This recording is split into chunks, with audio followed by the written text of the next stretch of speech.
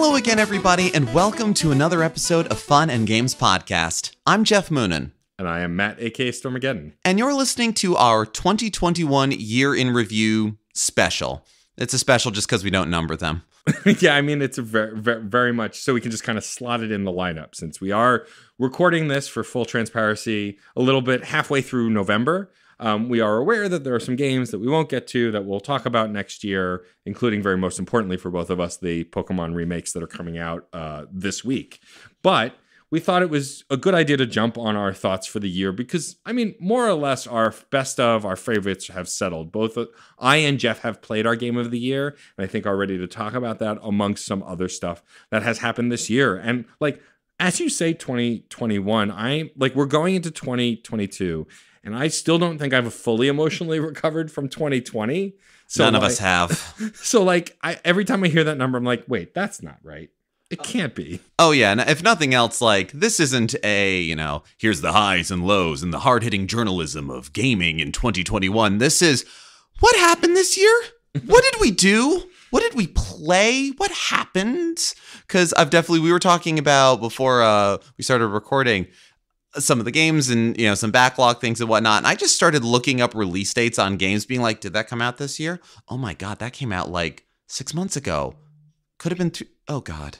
So this is just nice. I completely forgot that Pokemon Snap was this year. That yeah. feels like another Th- year. That was the one that got me looking, actually. yeah, it's it's it's wild the amount of games that came out this year, and like this is the first year in a long time for those who are not a stranger to the podcast or my social media present. Like I have, I typically play a lot of older games every year. Like I spent a lot of the early part of last year playing older games like Control, like Doom 2016, like Wolfenstein, a bunch of other things. This year, I stayed pretty current. I played a lot of indie games this year, a lot more than I usually do, which is really exciting. And there are a ton that don't even make my top 10 list as it stands that were phenomenal and that I'm hoping to play more of in 2022. But like, I just got to spend a lot more time with new games, which is just not a thing I've gotten to do in a long time. And it was really nice. It had its ups and downs. There were definitely some bad games this year, too. And we're not here to like bash and poo poo on stuff. I mean, it's been a full year of side quests. We are yeah, well yeah. past 100. We're making our way towards 150. Uh, as of when this airs, we'll be definitely closer to 150 than further. And we've got already planned. We know what we're doing for episode 150. So mm-hmm. we're excited to share that with you when we get to it. Um, but like we had an incredible list of guests on side quests this year, folks within the games industry, and then some of my favorites actually, folks who have never podcasted before. Like jumps to the front of my mind, Andrew, aka Tiger Version X, who is often in my streams isn't a podcaster, isn't a streamer, but recorded an episode about Lost Odyssey, which was great. Like that, the idea is for this show to be a conversation. You know, Matt from Burnout Brighter, whose podcast I got to be on also this year, on his show shared that he just thinks it's great that I share that I have this platform to share voices and that was definitely the intent uh, to oh, create oh, yeah. a positive space for ga- to talk about games in a positive manner without much naysaying. And sometimes we get people who submit stuff with some naysaying that I'll edit out just because I want to keep the conversation positive, but it's never like I'm not changing the narrative of their conversations. It's always like they'll go, "Oh, this thing sucked, but I like these things." Well, people aren't bringing people are bringing their favorites or the games that they really like to side quests. So even if you're just tempering it with some criticisms, being like, I'm aware of this, right? But- and like those, I'll leave in. But like you know, I try and keep it in a in a in a positive light. And like I just I love how people have really stepped up to contribute to it. You know, I mean, Geoff and I have done a multitude of episodes. I actually have a draft for an episode now for one of the games I'll mention later because as soon as I finished it, and I had just recorded uh, my Eastward episode, which may have aired by now, and if it hasn't, it will soon. Time is a soup. Time is a soup. Um, I I usually, for those who follow side quests, I usually take a while between games. Um, between Fuser and now Eastward was probably the shortest gap, but now I've beaten another game that I'm going to talk about soon. That I was like, I have to write about this game or talk about this game rather. And so like that that's been really exciting to engage with with side quests in that way. And it's just it's been a fun way to grow the audience because every host ends up tuning in and then becoming a fan of the show. And then it also expands the audience just sharing in these different microcosms. Well, it celebrates the community, it celebrates the conversation. And one of the reasons why, when we were first talking about this and you first brought the idea to me, and we're saying, like, can we make this part of the feed? What are we going to do about this? And, you know, I get, I did my seven and a half percent of uh, c- production contribution to this.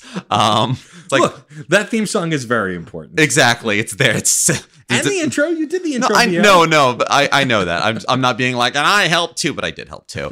but more the fact of when we were first, when you were first uh, talking about it, and we discussed it. It's the fact that when we started this podcast, Fun and Games, we first had some ideas about like we should talk about what games we're playing right now. We should talk about these things. We decided we don't want to be too much of a news kind of thing Yeah. and it's a bit more uh, conceptual and hobby style. So something like side quests is gives a platform for that side of the celebration of games because that's very much been our mutual thesis this entire time with this show with this you know umbrella of production celebration of video games and celebration of gaming and it is kind of incredible how many people have come out of the woodwork and contributed and i certainly enjoy the fact that several games that i have either played that I've never heard of before or I'm planning on playing were because they were side quest episodes. I was I listened to uh, Caleb Ferentz's episode about the beginner's guide,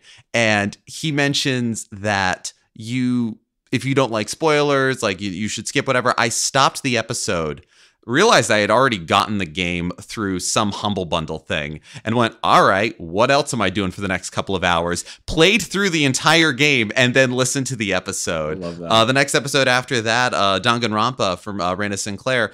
It's not out yet as of our recording right now, but the the Decadence collection is coming out Mhm. on the Switch, and Raina has personally uh, harangued me about playing the game. So I personally have found new games and found uh, new corners of the the gaming sphere to enjoy and celebrate through it. So yeah, I, I'd say it's been a smashing success, and I look forward to uh, where it's going, you know, in the future. Yeah, same. I mean, it, famously, I've mentioned many times on many podcasts that the, what got me into the Yakuza franchise was Derek's incredible episode on Yakuza Zero very early on.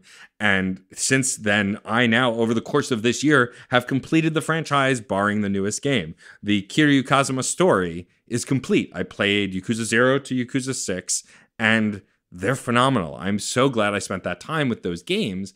And I'll get to Like a Dragon. It's on my list. I think I hit a bit of Yakuza fatigue, which is fine. I'll probably start There's a uh, lot of it. I'll probably start Like a Dragon after they announce Like a Dragon 2, which we already know is in the works. But again, Yakuza Zero just struck at the right time. I loved Derek's episode and it got me to play the game. I know a ton of folks who've messaged me saying that my very obscure, fairly incoherent premiere episode on control got them to want to try the game. And so like that's the point of this series is a place to celebrate and a place to like and then we've had tons of stories like john phipps and uh, an episode that'll have aired by now by sarah of mars over on twitter telling personal stories about how games like how Senu- senua's sacrifice and how it deal- deals with mental illness and mental divergence Yeah. really helped her and she saw herself in that game like in john's very personal story about final fantasy um 6 and why it means so much to him like those stories are just as important to me. My uh, mario 64 episode it was in that vein as well. Yeah. like i think And that Case's episode about Star Trek. yes. It's it's just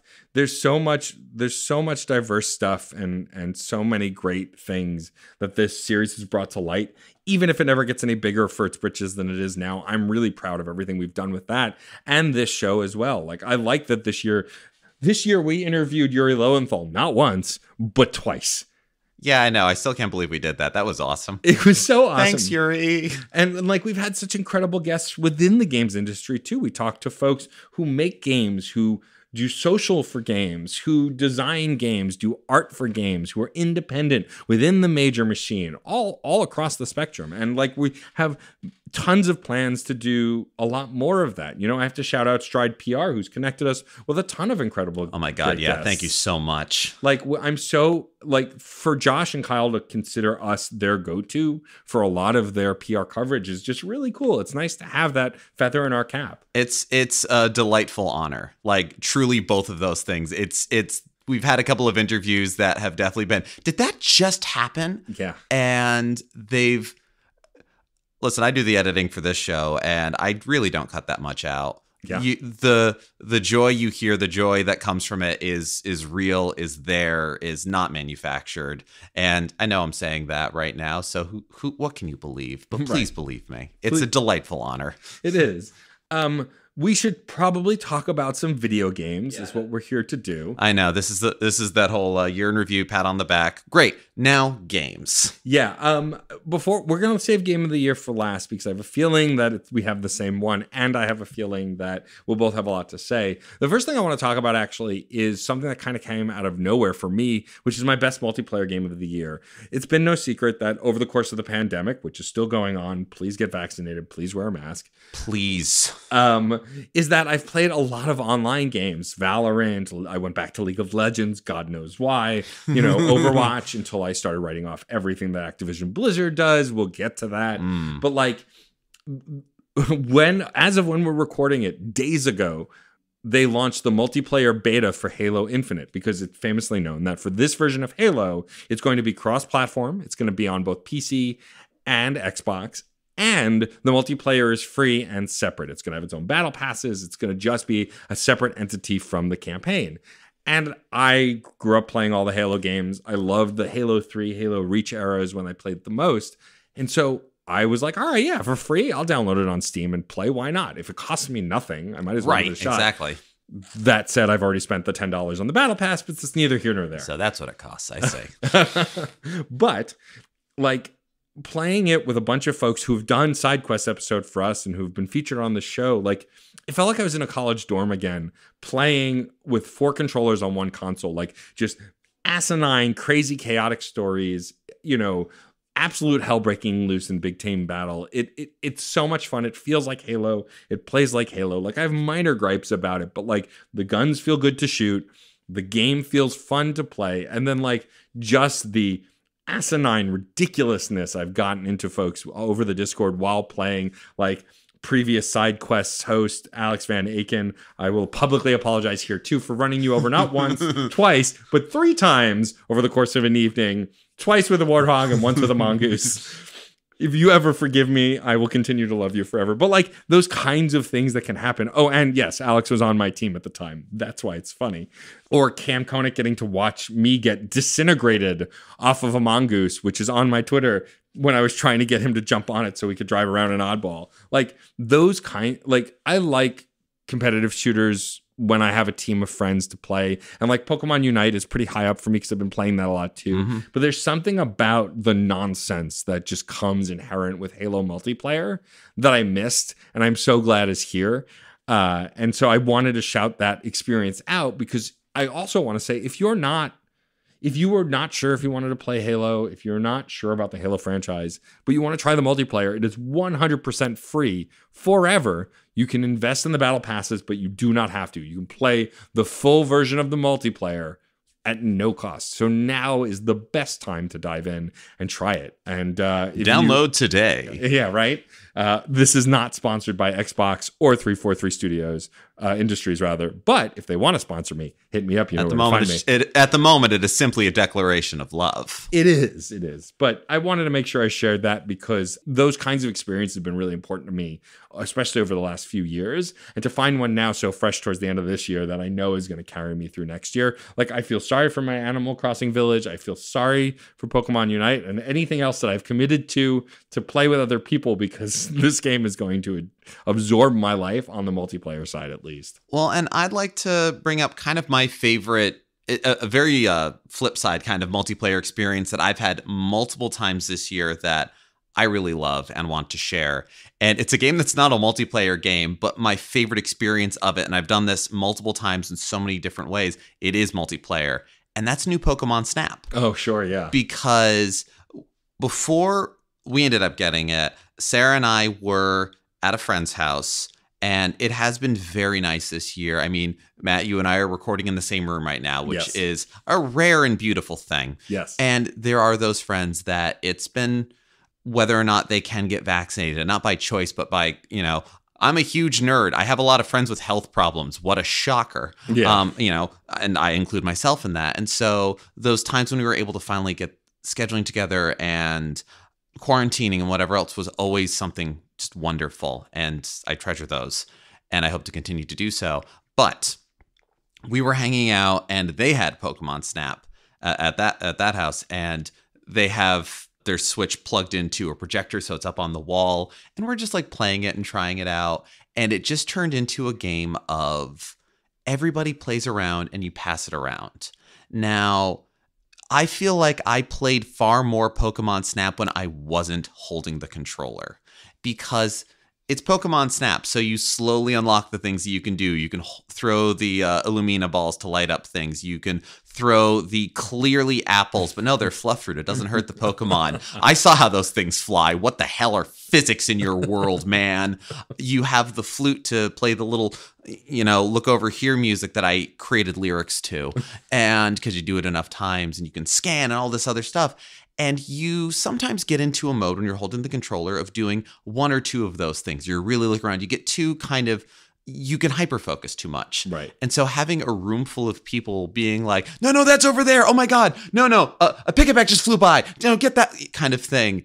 It was just as wild and just as loud and raucous. And because it's a game where there's no fail state you do maybe you get more points maybe you don't. Maybe you get a picture that looks hilarious but professor mirror doesn't like it at all. Or vice versa. There is no wasted time where you don't feel like there's a detriment if you just decide to screw around for a while. Or if you're trying really hard you don't get too stressed out about it. I, I think sarah described it as the chillest game that she liked to play in the most unchill way. And and not just uh with our friends up in Poughkeepsie where we first played it. We got it ourselves. We brought it places when uh Choirfly did when we did our one stop tour upstate. We definitely uh I introduced that style of play and half the group hadn't played Pokemon Snap. And it's even better because there's so many Pokemon now that you don't know all of them. Nope. And so it becomes a point of I love hearing friends being like, is that a Pokemon? No, what what is that? No, that's a Pokemon. No, it's not. Take a picture of it. Okay, okay I guess. Fine. and so it contained so much strange discovery and wonderful moments and it felt like that that was that multiplayer feeling that I hadn't had in a long time. And I'm I am a huge proponent for couch co-op. And this was a weird asymmetrical kind of nice couch co-op to just sort of come out of things too. I love that. I mean, uh, Pokemon Snap is a great game, a lot of fun, and new Pokemon Snap is no different. And and uh, yeah, I catch co-op is something I miss desperately, and I and it's the same reason I have been enjoying the Halo Infinite multiplayer. Oh, yeah. because even though we're on a Discord call, it feels like the kind of nonsense that you would be doing while elbowing someone next to you on the couch. Well, and especially when you're when you can do it with your friends, when you ha- when you're able to hear each other and yell at each other. Yes, you are unable to actually elbow them. There is no immediate consequences for running over somebody three times. Only guilt and shame. right. but it's still there is the immediate feedback amongst friends. It's not anonymous trolling. And it's nice that I don't know, technology or life or whatever it is has converged to to give that to some of us. Yeah. Many of us. for sure. Before we move through the rest of our list of kind of highlights, I do want to bring up. Uh, I guess we'll give the capital D Discourse Award to to one of the most shitty things that happened this year in gaming that we talked about a little before, but I feel like is worth spotlighting a little bit because uh, as of when recording, they are participating in another walkout. But Blizzard Activision is con- still continually still on their bullshit. Recently, there's been a story that was released. You can go to any major gaming outlet, though I read the article at Polygon that uh, not only is Bobby Kotick not going anywhere, but that the board supports him and is 100% behind him, thinking he's done great strides to improve equality and you know uh, fix this problem in the workplace which he's done jack shit for and so i believe the exact title of the article is you know uh, polygon calls for bobby kotick's resignation or some, something along those lines and i mean one i agree two it's a bunch of rich white men three uh, I personally will not be buying any Blizzard Activision games until something is done about this. It sucks. I'm not going to go into the gruesome details, but there's been a ton of sexual harassment and and just harassment across the board to the developers, to the designers, to the social media people. You know, especially against women. and femme presenting people, though it has happened to a lot of folks there being mistreated, overworked, crunch. Like it's Yeah. just in addition to the usual crunch and pay gap and bull that there really needs to be un- more unions or unions at all within the video game industry. Yeah. And so it's kind of just been a shit show. And so I think it's important that we mention while we've had some great strides in gaming this year and there's been some incredible stuff that we've gotten to see, it is also important to take note of Blizzard Activision and their bullshit. And yes, I know it's difficult. You know, you want to speak with your wallet, but also like the developers who are being mistreated also worked really hard on those games. And so, like, I'm not going to fault anybody for still buying games from them or covering them, but I think for the most part, you know, uh, I'm trying to be better about it with SideQuest as well and be more aware of it. But for the most part, wherever possible, Fun and Games will not be covering anything by Blizzard Activision until there have been some major changes made. We have released previous episodes about games by them, as well as games by Ubisoft, who are also in a world of shit and still trying to dig their way out. Yeah. And like we're we're imperfect. I'm trying my best to remember to vet that stuff, but you know, ultimately, you know, we are going to be covering less of it, if not none of it, as time goes on until major strides and changes are made. Because unless we band together, it won't happen, you know, because Right. clearly the executives and the board of directors have proved they don't give a shit about the health of these workers. No, they're looking at the numbers, and if the numbers are slightly better, well, then things are improving, aren't they? But it, it it's people's lives, and it's also important to remember that look, I I have a long running love for old Blizzard games. I mean, I grew up uh, with a Macintosh as, as the family computer, and you know what Blizzard would do? They'd release Mac versions of all of their games. It was so nice. I like that's how I got to play Warcraft and find out how bad I am at real time strategy games and play Diablo, and that one's so much better. But that's that Blizzard doesn't exist anymore. And that's another thing to remember where a lot of these names get kind of pulled together. And yeah, do I want to revisit Diablo 2? Yeah. I'll just figure out how to play the old version. Like, and neither of us know exactly what the next step is on these sorts of things, but the conversation needs to be had, lines need to be drawn, and we need to look out for each other. And we can only do so much from sitting here behind microphones, but we're going to try to do that and we'll try to do elsewise otherwise and Yeah.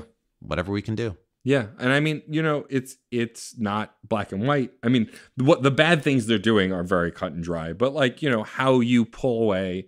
Look, I said very early on when the crunch stuff came out about Rockstar that I wasn't going to play Red Dead Redemption 2 and I was going to spend money on it. And I still haven't spent money on it. It's been on Game Pass. I could play it for virtually free and I still haven't played it. Like we we all pick and choose our battles and this is the one I I'm picking and choosing. I mean, look, we found out way after we recorded our Metroid episode that Mercury Steam pulled some shady shit with the development of Metroid Dread and that they left certain people out of the credits because they only worked for a certain percentage of the game on it, which is just dumb. But it's apparently a pretty common practice that was new to me, but I'm sure not new to others in the space. And like, we don't condone that shit. It sucks. I still love that game. I love that studio. And hopefully in the future, there'll be ways to rectify this. But like, we're constantly learning and constantly trying to evolve and grow with this industry and do our best to support the voices that need the support. Which is something that we can do from here. I Right. I don't necessarily ascribe to full on purity culture, only consume uh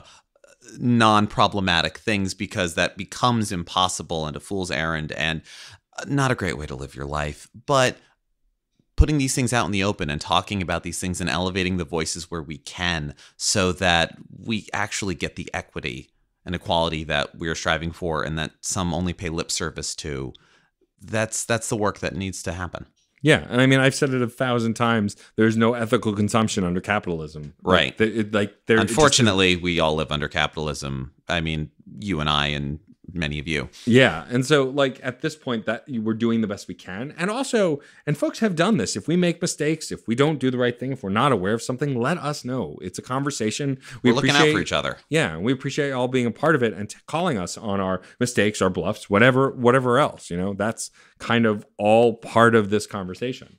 To shift gears, slightly coming out of a negative mentality, I want to mm-hmm. talk about my biggest disappointment of the year because I think it's really important.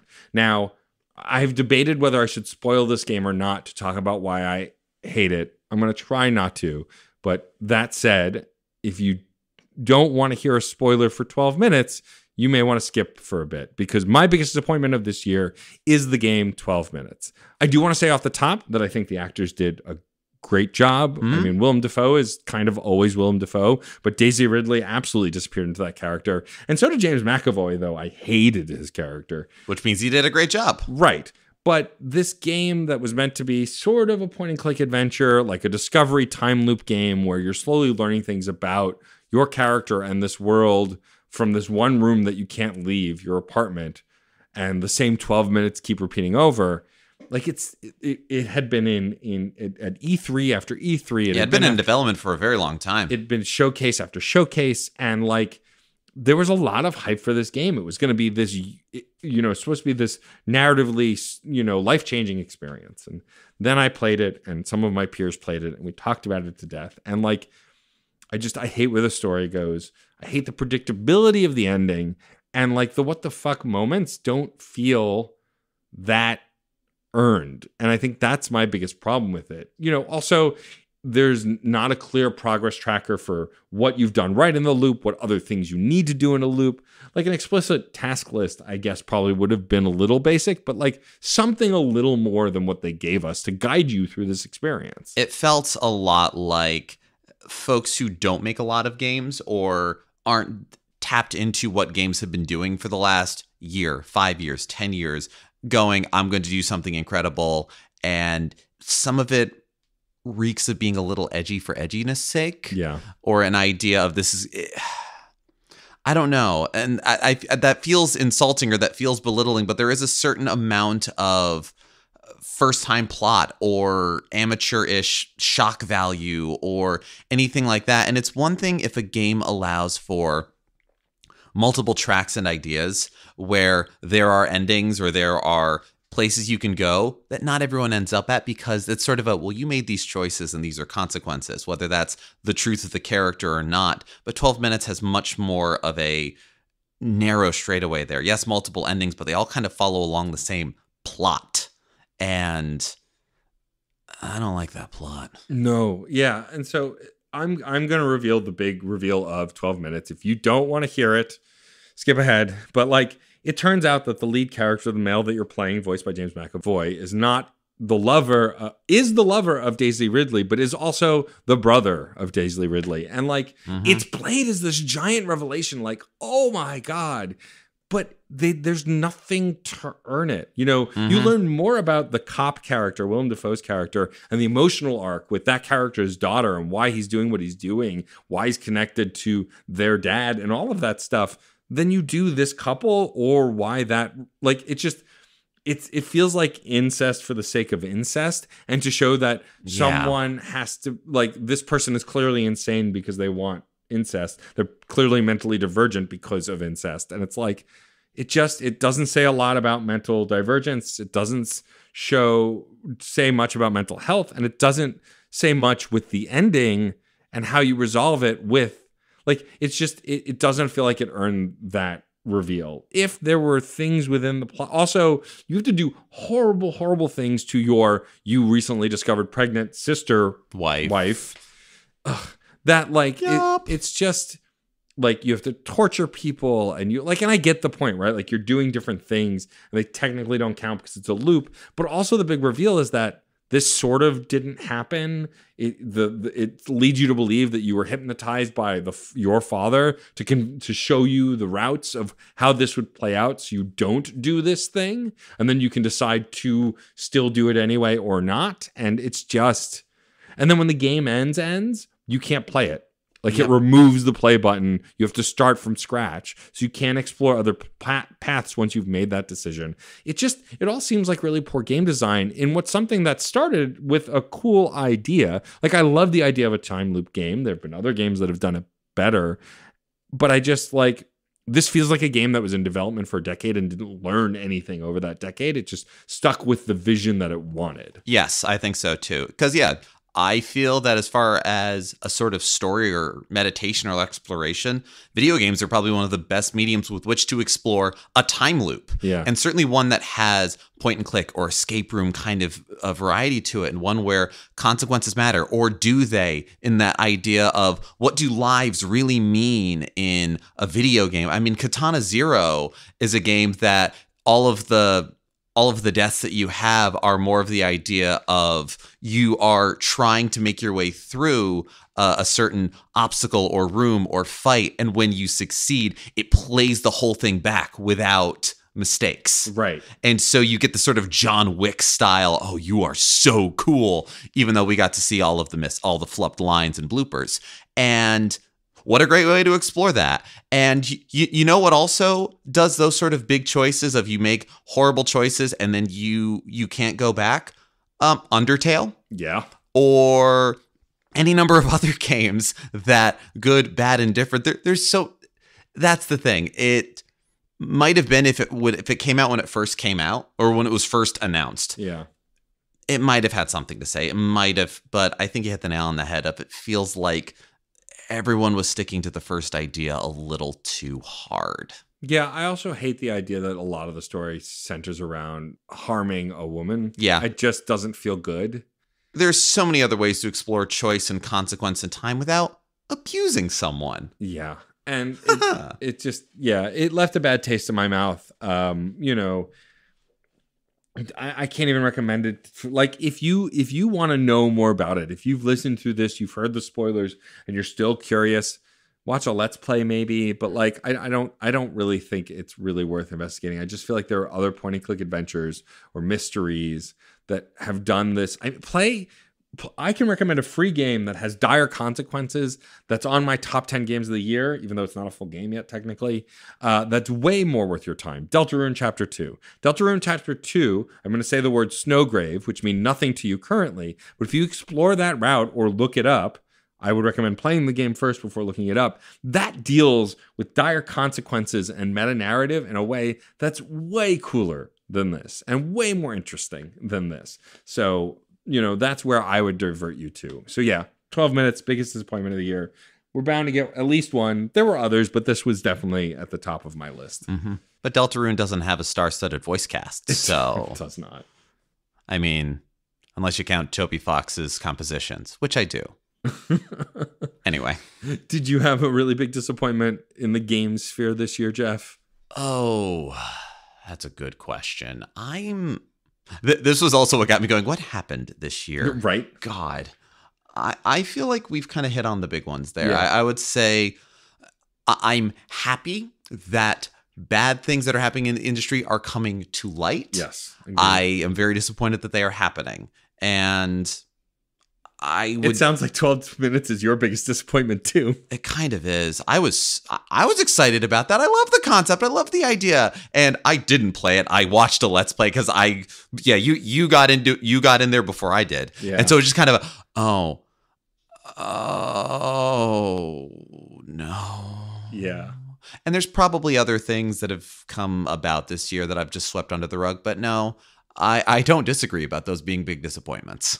Uh, actually, I've thought of an impromptu question because why would I ever stick to a script? What's Is- a script? Is there what is your number one I can't wait for 2022 game? Like as in not a game coming out in 2022, but a game from this year that you know you're not going to get to play till next year. Oh, jeez. Because there's a few for me. I think the biggest one is probably Life is Strange True Colors. Mhm. I love the Life is Strange series. I played the first one and I've played Before the Storm. I don't think I ever got to play the sequel, which is different characters. But like I've seen a lot of clips of True Colors. It looks really pretty, especially on the PS5, which I happen to have one of. And like it just it looks like a really well done good game. It's not perfect, especially when dealing with mental health and and emotions and mental divergence, but I've heard it it's a pretty great story. It's fem forward, it's got some really good moments and so that is like kind of at the top of my list of when I get to 2022 even though I know there's still going to be too much to play, especially in the month of February, guys. What's with February? Too many games in February. Enough. It's gray and depressing. Here's some video games. right? But I think my big January game, depending on how long it takes me to beat Arceus, might be Life is Strange True Colors. I think mine is going to be Death's Door. That's a good one. I have been waiting. Uh, as of this recording, we are less than a week from Special Reserve Games releasing, the, starting the pre-order for a physical version of the game, and I've definitely got dug myself into this hole, and I'm fine with that. of I will, you know what? It's kind of great that there's a, a number of different storefronts and companies that are putting together physical releases of games that wouldn't normally or would have a limited print run. I mean, one of them is limited run games after all. Right. And I'm also excited about uh speaking of special reserve games, I ordered Demon's Throttle not Oh, too long ago. And so that is the physical only game that Devolver Digital announced during their E3. And I just went, well, I, I have to. This is This is literally targeted at you. this this they, they found me those those jerks but death's door i've heard so many incredible things and much like hades much like slay the spire much like uh, so many other games that were just like people grabbing me by the shoulders and going Geoff this is for you why aren't you playing it yet yeah. so, and I know you're one of the people shaking me about Death's Door. And so I think, and there's a few others that I'm probably, but that's something that came out this year that I am hotly anticipating just getting to sink into. Yeah. Death's yeah, Door. uh, as someone who loved Hades and and loved Death's Door, I I agree, and I think you will absolutely love it. Uh, it just got announced this week as we speak that it is coming to PS4 and 5 and Switch as well, which is exciting.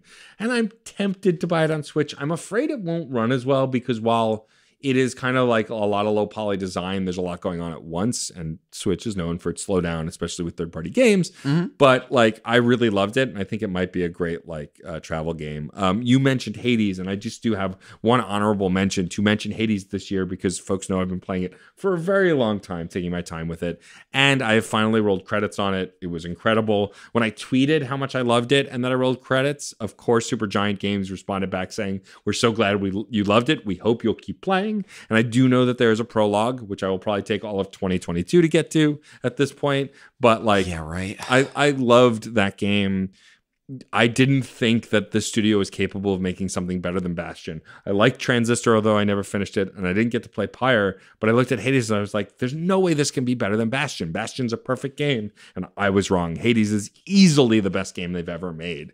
And uh, I just, I look forward to playing it more. Um, I've grown even closer to my friend Donna because we just send Hades memes to each other back and forth and constantly talk about our runs and share screenshots. Um, I'm looking forward now that I've beaten the game to work towards a prologue using weapons I don't use that much because I Mhm. mostly use the fist weapon. Since run five, I use the fist weapon every time because I knew I could win with them and I wanted to see the quote unquote ending. And so, you know, I now I'm looking forward to trying other weapons, seeing if I can get to the end without them, turning off God mode and just starting to use those stipulations that make it harder. You know, Yeah. experiment more now that I've rolled credits at least. Getting to enjoy the roguelike as the rogue roguelite into a roguelike. Yeah. And also, hand to hand weapons are almost always the best option. Not just Hades, but just in video games. Just like, is there someone doing hand to hand? Do it. Yeah. Yeah. Yeah. Go for it. Haha. yeah, yeah. Um, all right. Uh, next, I want to talk about my biggest surprise of the year because this was a game that was on my radar. Uh, they announced it around E3 time Mhm. uh, this year, and then I kind of kept forgetting about it until someone brought it up again, and then I ended up buying it anyway. It's my first brand newly purchased PS5 game. It's not exclusive to PS5; it's on other platforms, but it is a PS5 game, uh, and it is the, the Marvel's Guardians of the Galaxy game. Um, you know the it the previews we got it looked okay. The combat looked fine. The graphics were really pretty. And i was like all right i'll try it. Yeah. coming back to it now this game has my definitive version of the guardians of the galaxy. It's better than the mcu version. It's better than the cartoon version. Better than a lot of the comic book versions which it draws inspiration from.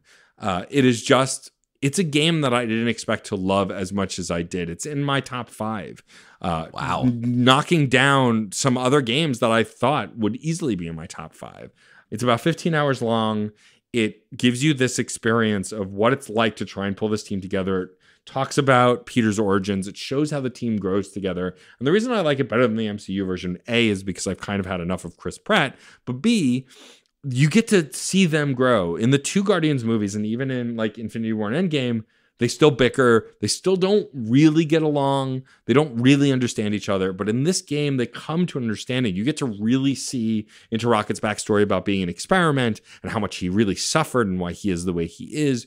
You get to find out truly why Drax is haunted and see him actually bond with Peter more in this game than any other medium. And then Gamora is not just falling for Star Lord. In fact, there's no romantic relationship between them at all in this game. They're just friends who deeply care about each other. And I don't see in a lot of games a portrayal of a, a male presenting character and a female presenting character just being tight, cool friends. Usually, there's got to be some sexual tension. And we need really we need not. more platonic disasters. Yeah, and I mean, like Peter Quill is the bi icon we deserve, and like he, while they don't show explore that bisexuality in the game enough, if really at all, he is flirty in the way that I see in myself. He is just kind of open and warm and kind of dumb, and it just and also like it has it has an 80s soundtrack of just 80s songs like completely full of licensed music.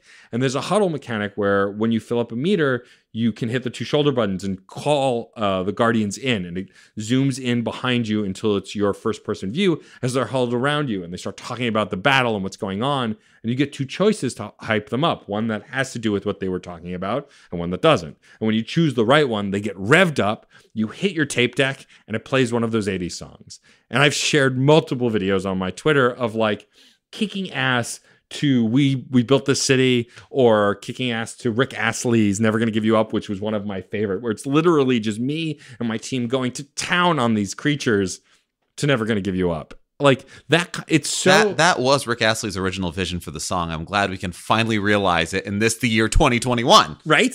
And it's just it doesn't take itself that seriously and has some of the best, most heartfelt writing in any game I've played this year, which is wild to me to say about this game that I thought was going to be a like a oh it'll be fine and then I'll forget Mid- middle of the it. road, not bad. Right, and it ended up being fantastic. In fact, the only thing that brings this game down for me is that the combat is clunky. It's fine and it's fun, but it's not as intuitive as it could be. But like barring that, it's it's some of the best writing I've seen in a video game ever. Uh, up there with Spider-Man for PS4, now remastered for PS5. This game just really has the heart that I was looking for in a game, and like genuinely made me cry more than once, which is always a good sign of a game for Hell me. yeah. So I think that if you are a fan of the Guardians of the Galaxy based on just having seen the MCU movies or the comics and you want and you're curious about this game, I absolutely 100% recommend it, which was not a thing I thought I was going to say when I first started it. But like after beating it, seeing how the story ends, seeing how they introduce a ton of cameo characters that are really great and nudge at other things from other universes and other mediums, like it's absolutely worth your time. If you are a comic book fan, if you if you're a Mass Effect fan, there is a lot of like you get to talk to your teammates, you get to have conversations learning their backstory. Like it's not quite the same as Mass Effect, but certain things happen or don't happen in the game based on people you convince and conversations you have. Like I think it's really worth it. I think it's worth your time and it's not a long game. So yeah, that was my biggest surprise of the year. I absolutely love it and I absolutely hope that it gets a sequel. Yeah, actually, I didn't realize. I mean, I haven't, I have not played the game yet. Unfortunately, I didn't, I didn't realize. Yeah, you could very easily link it to Mass Effect in a way. You get to walk around your ship between missions. Like it's not as in depth as Mass Effect, of course, But but, the, but the thing is, them some good shoulders to stand on if you are going to make a good Marvel game. I, I love it. uh, what about you? Was there anything that caught you off guard this year that you didn't know if you'd like that you ended up loving? Um, I'm not sure. I a lot of my gaming this year has been long form. Definitely, I've easily played so many fewer games than you this year, but I've probably spent nearly as many hours doing it. Mm-hmm. Part of that is the fact that uh, carrying over from 2020, I have fallen hard for the Persona series. Nice. And so something that I was not so much surprised but pleasantly delighted by is uh, Persona 5 Strikers, the sort of action RPG sequel to Persona 5 was localized and released in America this year and it's it was developed concurrently with Persona 5 Royal, the updated re-release which Sarah and I put nearly 170 hours into. No regrets. Oh my god. and I will probably play it more. Me just me personally. Right. I, I enjoyed it that much. But it's a game that is most easily described as like, oh, it's like Dynasty Warriors, but with Persona. I'm like, I like Dynasty Warriors, but do I need Persona Dynasty Warriors? And how am I going? Is Sarah going to enjoy playing that together? But it's it is definitely way more action RPG ish than that. There is all of the great banter between the characters. I do love these wonderful idiots. and as well as the fact that there's enough pausing of the action in order to choose your abilities to ch- kind of check things out because one of the the components is your main player character is able to have many different personas many different of these mythical creatures attached to him. So it can't just be kingdom hearts where if you're doing up and down on the d-pad and you are getting obliterated. But there's enough little mini games and situations that pop up into it. There's small missions that you have to do.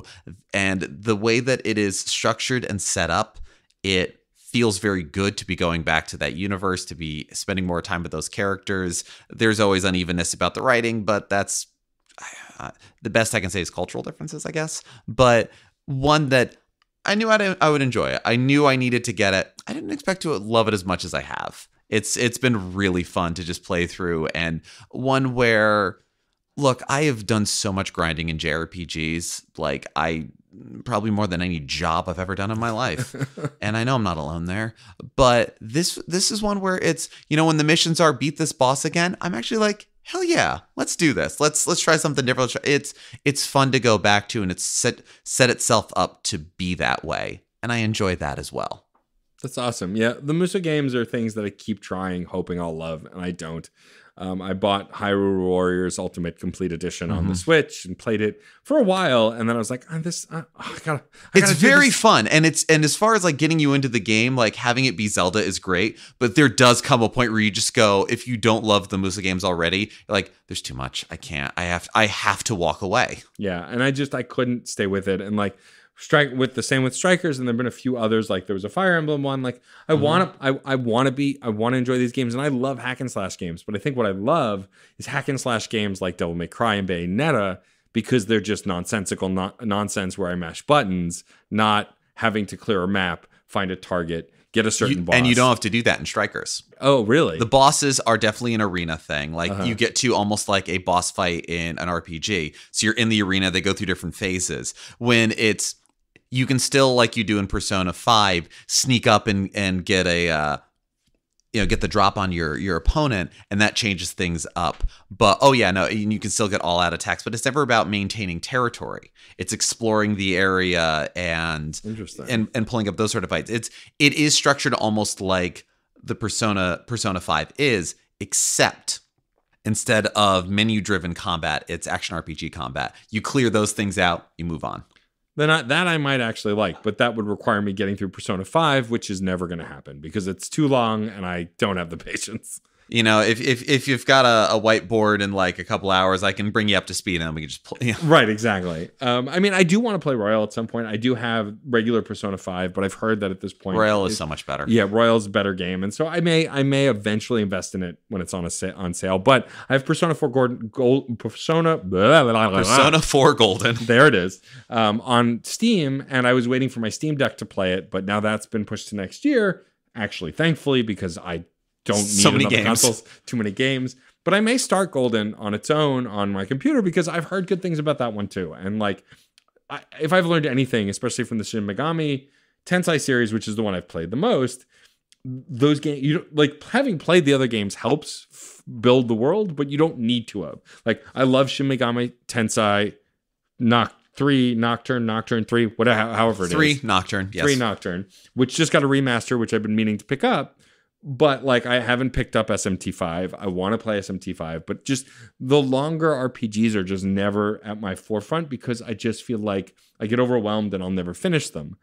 And so I, I think I have to find the right RPG to bring me back in. And honestly, the one I've been holding out for for the longest time is Sea of Stars, which we don't know when that's coming yet, but like that's the RPG I'm waiting for. Oh yeah, no, I'm on the Kickstarter. I, I, am in the Discord. I'm on the Kickstarter. Yeah. I've I I don't know what the latest is on that, but I'm very excited for that whenever it happens. I will say there were some great games to Kickstarter this year. We both kickstarted Romancelvania, yep. which I uh, probably messaged them at least once a month saying, "Hey, how about a non-binary option?" Because you know why not? Literally, they just have to change the pronouns. They can have a femdrac and a mask drac, and then just let the pronouns be different. Yeah, like the look doesn't matter that much.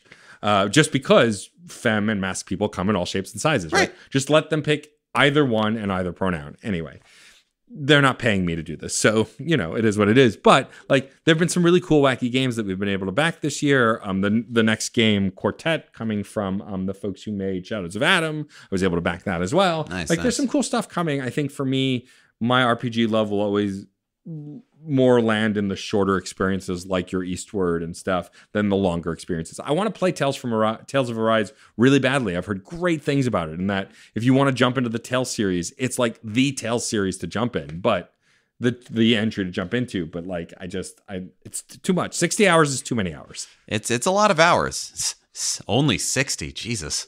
yeah, I know, right? But uh, before we wrap up, I do want to talk about our game of the year because I have an inkling it's the same for both of us. But like, I've gone over my list time and time again. At one point, my number one was Psychonauts 2 when I had played it. Then at mm-hmm. one point, it was Boyfriend Dungeon when I had played it. Like games that I've been looking forward to for so long that were absolutely, there's no way anything can beat them. And then a game 19 years in the making comes out this year. Metroid Dread is absolutely my game of the year. And I absolutely 100% acknowledge it's fueled by nostalgia. But you know what? It's my game of the year. It's Yep. going to be the game I love the most. Uh, it's not going to be your game of the year. Well, it might. It is my game of the year. Right. But like, which I. You're I- pointing at me when you say it. Right. But like, it doesn't have to be your game of the year, but it's mine. And like, I don't know. The more I think about Dread, I haven't played it. I've only beaten it the once. I do want to play it again. But like, the more I think about it, the more I go, this game is a direct sequel to one of my favorite Metroidvanias ever made. And a game that until it was announced, like you were saying, Geoff, I had no idea existed. I didn't know all the conversation about Dread being this project that got shelved and disappeared. It was supposed to be in the 3DS. Well, and the reference to it was in the Prime trilogy, which, as we've already covered on the show, neither of us got that deep into. No. And so like I completely missed that it was even a thing that existed. I assumed the side-scrolling genre was over. They kept hyping Prime 4, which I was going to dive into the Prime Of series course, when it yeah. came out. But like I was I had assumed the side-scrolling series part of the series was done. And then they announced this game out of seemingly out of the blue for me. There was no way this game wasn't going to be the game of the year unless it was an utter failure, and it was absolutely not. Geoff still hasn't beaten it yet, so I'm not going to spoil it. I'm, t- I'm taking my time with it, is what is, I'm doing. Which is absolutely valid. But like it has like a lot of folks have asked, and I will answer this question without spoiling it. They're like, the Metroids are all dead. The X's are in this. The only Metroids left, you know, the only Metroid anything is in Samus's DNA. Will they still kill call this series Metroid, even though they say the saga's ending? And all I can say is yes. And there are reasons why within the last few hours of the game, but I will not spoil it.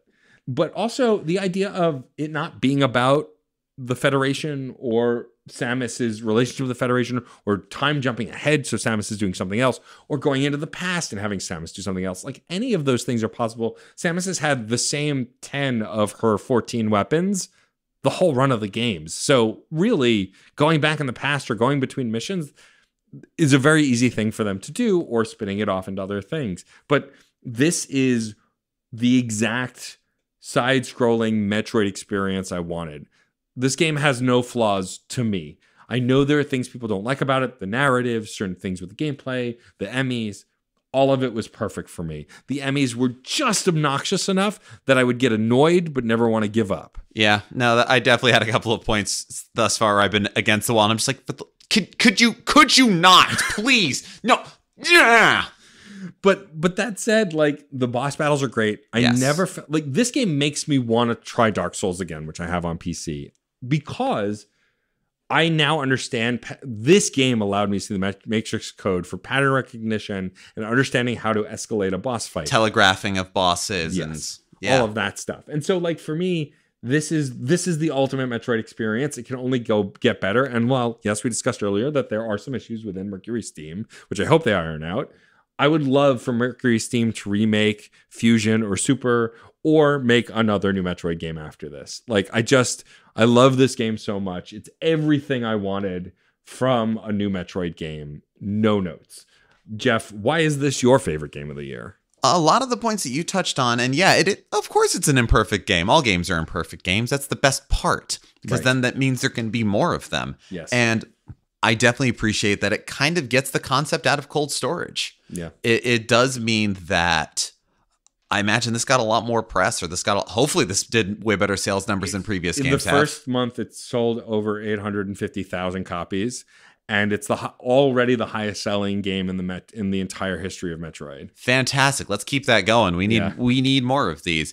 It is a game that I don't delve into new Metroidvanias often. I do. And I and I play them and I love them and I enjoy them, but there is something wonderful and one of the reasons I do take my time with it is because I love the not knowing. And I love getting to take little pieces of time to just sort of really explore an area or dash myself upon the rocks of a boss battle or sneaking past an Emmy or any of those. Enough different things go on and you know, there there have been some infamous comments made about the game that you know what? I do think in terms of Metroidvanias, and I will shoot up and to the left no matter where I go because that's what you're supposed to do with these games. It is uh, an example of it gives me, it knows exactly what it is. It gives me that while still surprising me and delighting me and making me excited for more. And I'm and I'm with you on that idea of it. It gets me wanting to play other games as well. And it seems sort of damning to say that like I love this game. It makes me want to play other games, but games should make us excited to engage in our hobby and the thing that we love in this medium. And so, something that gets me excited for this franchise, for this genre, for this medium in general is frankly incredible. And also on a on a personal note, I around when I got I got a copy of Metroid Dread, we moved around some stuff within my home, so now my current gaming setup, I have at my desk my old TV above my computer monitor, and I brought my Switch deck over there so that just whenever I can just kind of sit back and put Metroid Dread up on the big screen, it it feels nice. It's it's the first time in a while that I've played Switch on TV and not in handheld mode. Sure. So it's given a lot of wonderful little experiences that add up to something even greater than the sum of their parts. It's I love the Metroid series. I love Metroidvanias. I love the spooky atmosphere. I love the stealth of the Emmys. I love forgetting that I can do certain things with certain items and then just there have been so many times where I didn't quite get how to get through a puzzle or how to do something, but I was always able to f- eventually figure it out utilizing the tools that I had, either actual tools that I had found or things that I know how to do within, the- within these games. It never felt like, oh God, uh, oh, how was I supposed to know that? Everything has felt earned. And I love that. And not every game gives you that. And it's it's it is a very nice balance of mystery and got and an invisible hand of guidance. We're looking for it so we see it, but I see it so I appreciate it. Yeah, totally.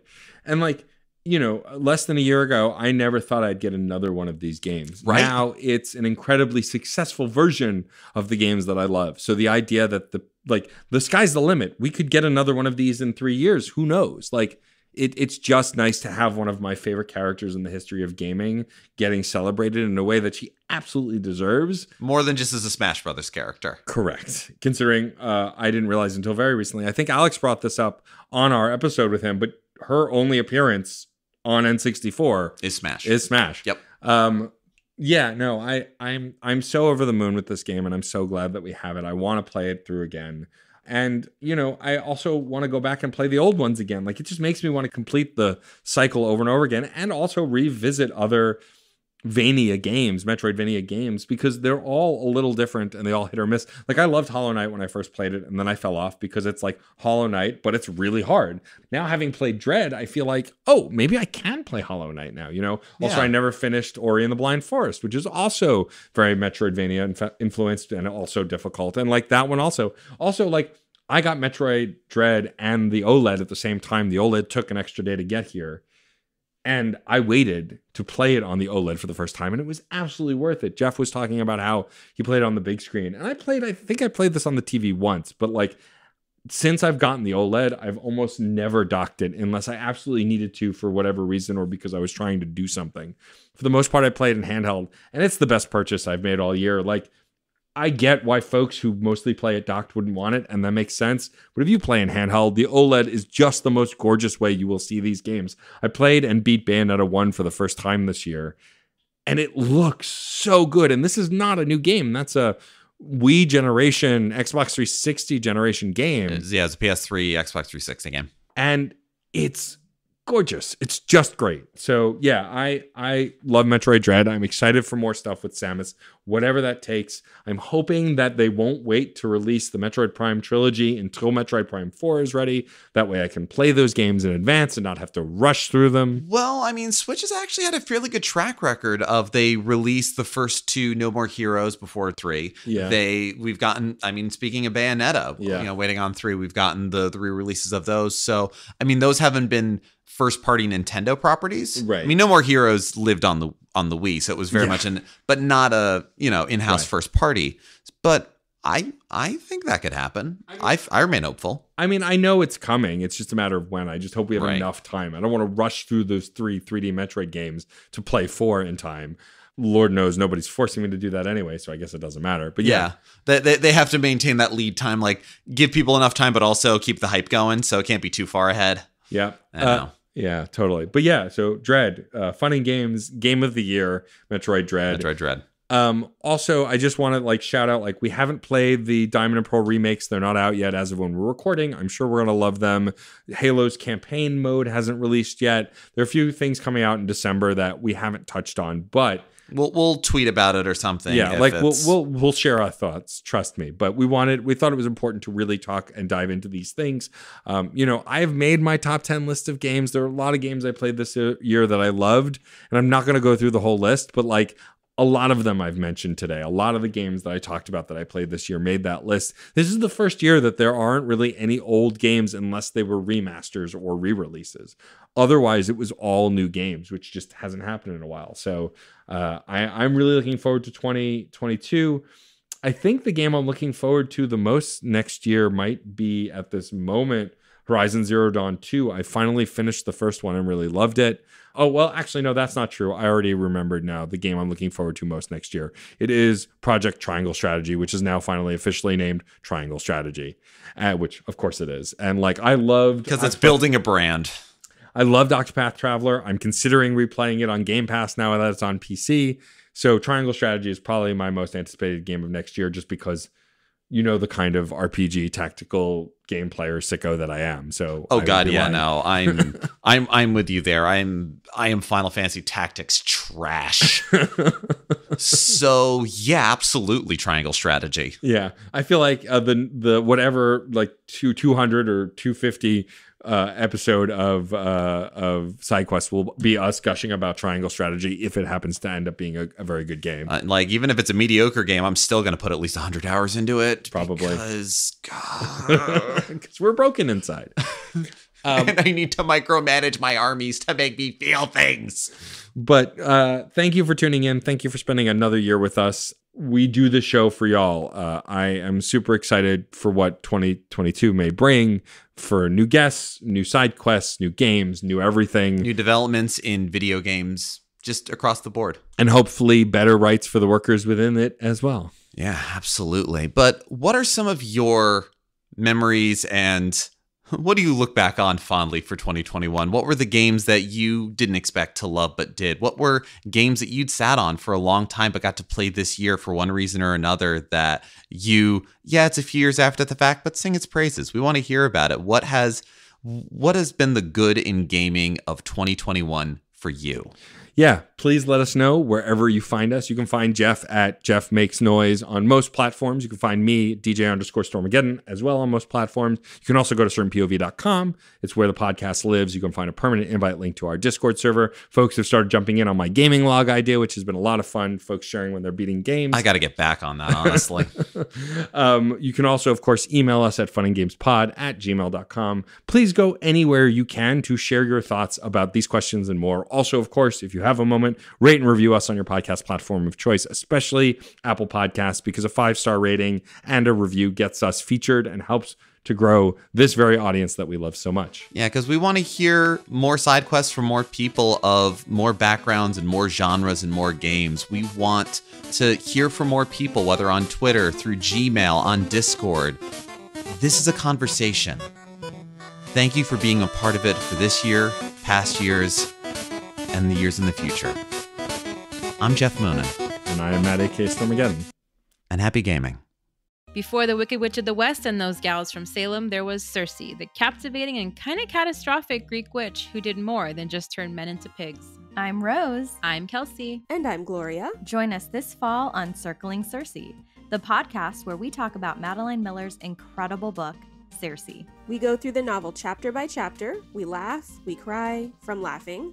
We swoon over Daedalus and other Greek hotties and talk way too much about food, life, and scented candles. I'm hydrated. I'm ready. I'm You're pumped to talk about Greek gods and titans. Let's do this. Lasagna is not supposed to be cool. It's supposed to be eaten hot, stupid. Who just looked at a cow and was like, hey, sexy, moo right over here? Like, It's 11:45. I need to go eat my liver. my Prometheus pate. And Granny's like, get out.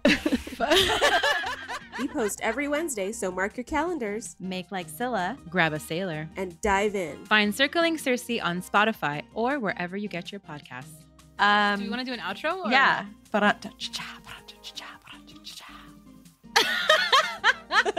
Is that your outro? That's it. CPOV. CertainPOV.com.